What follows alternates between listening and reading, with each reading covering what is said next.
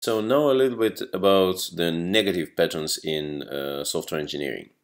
Uh, this book came out also uh, something like 20 years ago, uh, quite uh, soon after the Design Patterns book. And one of the ideas there was that if you're using design patterns, it is already an anti-pattern because there is not enough abstraction in your system and you need to use like special tricks on top of your language and, and other things in order to uh, to say what you want to say. And I'm presenting a couple of uh, anti-patterns, some from the book, some not from the book, but the concept of anti-pattern since then has become also quite uh, uh, popular. So methodological anti-patterns, copy-paste programming, for example, we've we've uh, discussed it uh, uh, last week as well is when you, uh, instead of developing a new solution, you copy paste code from uh, somewhere else within your code base or just, you know, from Google or whatever. Uh, premature optimization, a famous quote of Donald Knuth says that premature optimization is the root of all evil. And I mean, that's the guy who spent most of his life really uh, optimizing different algorithms. So probably he, uh, even even he says uh, something negative about optimization, we should listen. Uh, dependency hell is when you uh, have many. Uh, I, it could can occur on many levels. So many classes or many packages or many um, I know systems in a uh, in a entire product that depend on one another in such a way that if uh, if one of the dependencies is mm, missing, for example, then it's uh, very hard to detect uh, which systems should be updated in order to uh, to get it right. Rule of credibility was uh, uh, published as a separate paper, I think, where somebody said that uh, you know the first 90% of code takes 90% of time and the remaining 10% takes the other 90% of time which uh, basically means that your total time will be 180% uh, of what you have expected.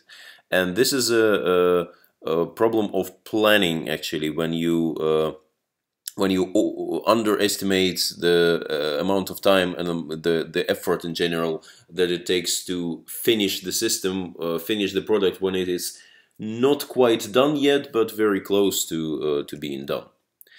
Uh, analysis paralysis that's the the other way around when you're kind of you're uh, afraid of making this uh, mistake of rule of credibility and you're afraid to uh, to take a decision to optimize or not optimize something and then you're stuck in the planning phase. You're collecting requirements you're analyzing them you're discussing all the things and uh, well nothing gets produced basically vendor lock-in is when you uh, really go for uh, one particular uh, technology and yeah the simplest example is you go for .NET uh, solution and then you are in the Microsoft world. And if uh, tomorrow Microsoft uh, tells you something that I don't know that they discontinue a particular language or they make a particular change in the language, then you basically have to comply because well uh, you're you're already there and your system only works in uh, .NET. And smoke and mirrors, that's, uh, uh, that's a way to present your architecture in such a way that uh, things that are not yet implemented, they seem like they are implemented. They can be done by uh, uh, you know lack of testing or some other obscure obscure methods. Uh, then there are some technological design pattern, anti-patterns, uh, uh, something like cargo cult programming. So cargo cult is when you when you do something as, as when you treat something as a natural phenomenon or some some divine intervention without thinking why it happens. So it, this goes hand in hand quite often with uh, uh, copy paste programming. When and uh, this is okay at the very very very first stages of learning a new language. When you just uh, you know you you look at uh, other people's code and you say okay in the beginning they define I don't know a main function so I should do main function as well because everybody does it.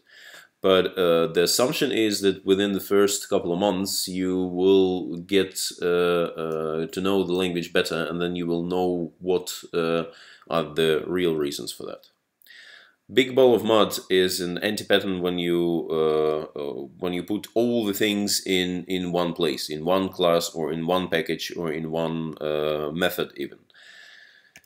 Uh, circular dependency, of course, when you uh, when you well, you always have dependencies, but I mean, if uh, uh, if several things depend on uh, each other, then it means that whenever you want to really change one of them, evolve, then you will need to evolve all of them. And while you're doing evolution, you should uh, already uh, uh, make the entire system consistent again. And that's much harder to do than to update one and then to propagate the updates uh, by uh, going by dependencies. Uh, sequential coupling is when uh, when you kind of have this with input output you, you have this quite a lot when you kind of you first need to open the file and only then you can work with the file and then you should close it uh, so just by looking at a piece of code, you don't know if certain things have happened before or not, but uh, the, uh, whether they happened or not, they, that has direct consequence on whether the code will work or not. Uh, the um, the yo-yo design or spaghetti code is when you when your design is uh, or when, when your solution is uh, distributed uh, among different places and you need to look hands and forth uh, in order to understand what's going on. Hard-coded assumptions, when you uh, have some um, uh, when you have some circumstances that you kind of think that will always be true or that, that are true even for your particular thing and then you hard code them. You, you put the the constants and, and other things in your code and then later uh, when the circumstances change, when your assumptions are no longer valid, um, then people will really need to go through all your code in order to see this this constants, this this uh, uh, uh exceptions and whatnot to to change them.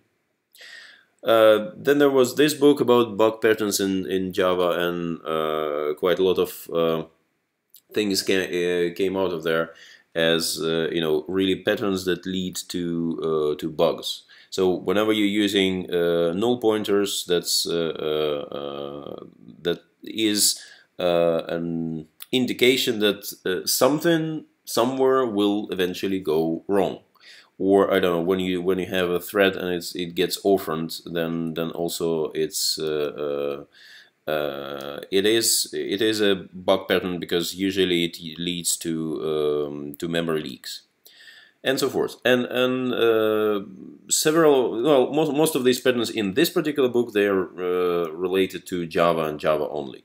But if you look at lists that uh, tools like findbugs or checkstyle uh, detect they are they, they have quite longer list of much more concrete things that also correspond to uh, you know anti-patterns, bug patterns, and whatever negative patterns you have, uh, and they report it to you. And there are quite a lot of linters, you know, uh, HLint, PyLint, CSSLint, whatever. Uh, uh, programs that really look at the code and and report uh, some suspicious activity to you there.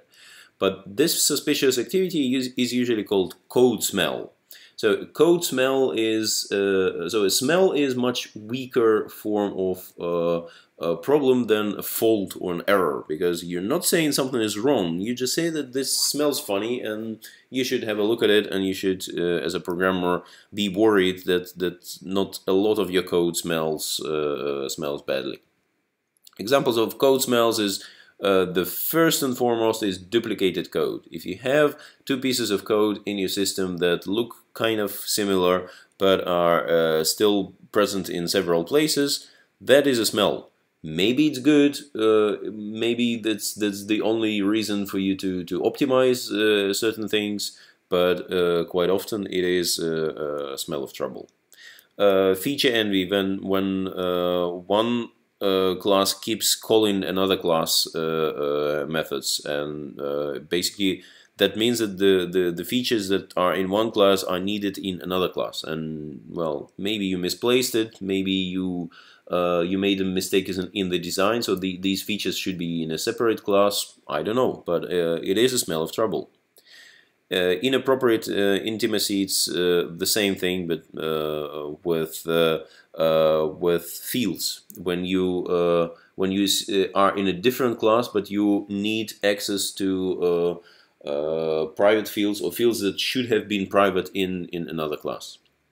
Indecent exposure, also the uh, when you have like a class that uh, depends on um, on some internal implementation details of another class. Which means if you're a developer of one of these classes and you want to change something, then you can't or you shouldn't because it will break stuff in, in another class.